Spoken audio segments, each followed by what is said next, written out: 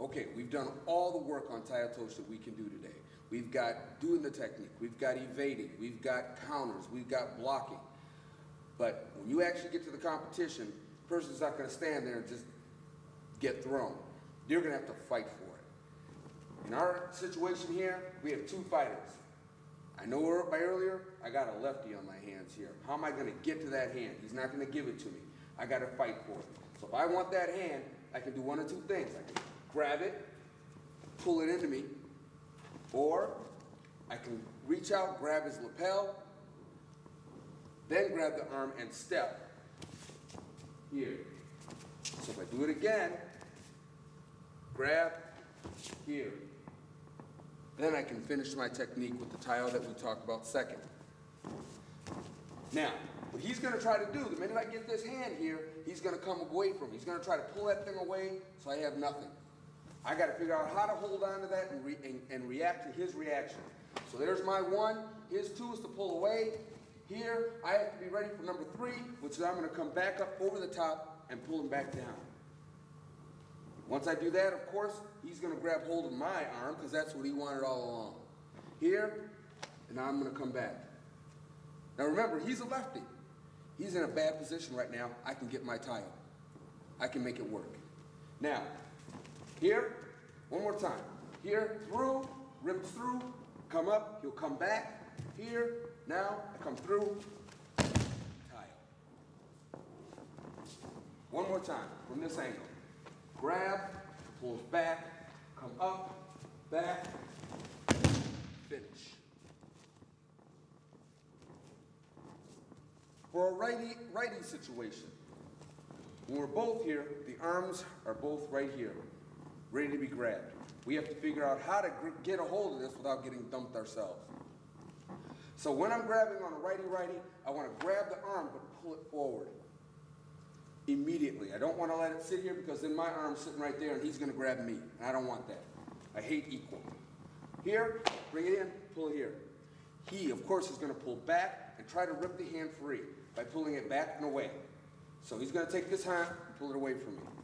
So I need to anticipate that. Remember we did earlier? This step, it's going to come in right now. I'm going to get hold of the hand, pull it in. As he starts to pull, I'm going to step, turn, and follow his pull and let him throw himself. One more time. I'm going to come in, grab. He'll pull back and away. This time, when he tries to pull back and away, I hold it, reach, step, turn. Right into the throw. With your partner, try this route right now. Now, we covered how to make sure that we can get the Tai Toshi from a gripping point of view. But watch what happens when you have a big guy.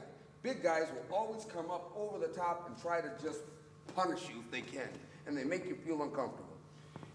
You can take this against them. Remember, we step around on big guys because we need to keep to the outside of them.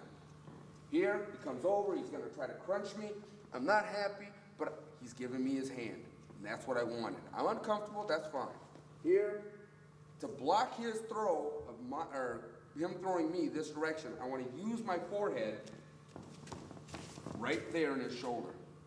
I use the front of my head, not the top of my head, front of my forehead, right here in the shoulder. So here, I block so he can't bring me up and back.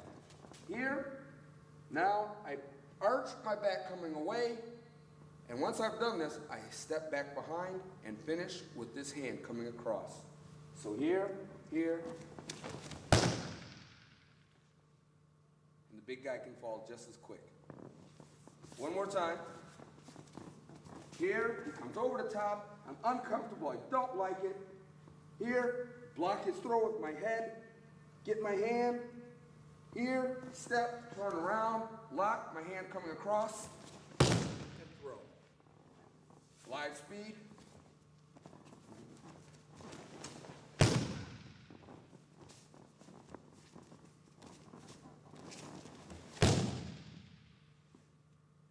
You can try that with your partner at home right now.